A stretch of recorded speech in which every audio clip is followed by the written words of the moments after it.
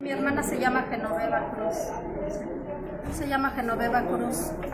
Y pues ya está, ya estábamos esperando, la veíamos tan mal.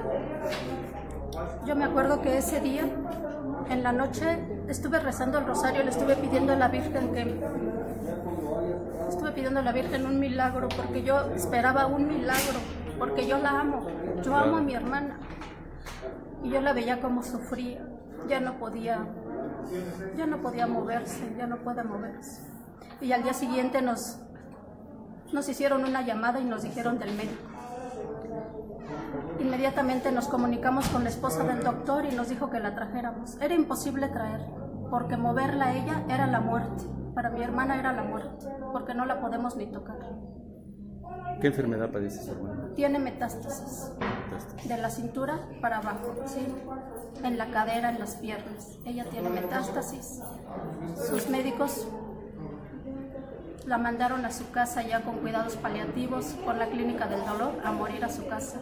Ya no nos dieron ninguna alternativa, ni de quimios, ni de radioterapias, nada. ¿Qué tiempo tiene esto que la mandaron a su casa? De noviembre. En noviembre lo operaron, le quitaron el tumor de la columna, un tumor en la columna que ya había hecho metástasis. Y desde entonces nosotros no hemos dejado de luchar.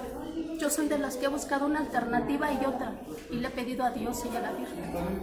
Y no la han dado. Sí. Y ahorita llevamos con esta, bueno, llevamos siete vacunas y hemos visto una mejoría. Y estamos muy contentos. Yo creo en el doctor y yo pienso que es único único para la salud de mi hermana y de tantas gentes enfermas que hay con mi hermana. Y me gusta, y me gusta su revista por lo que dice, ¿sí? Yo limpio esos ojos que lloran. Es increíble lo que estamos viviendo. Yo estoy muy contenta. Qué bueno. Y le agradezco tanto al doctor. Y le pido a Dios que le dé salud y que esté con nosotros mucho tiempo. Muchas gracias.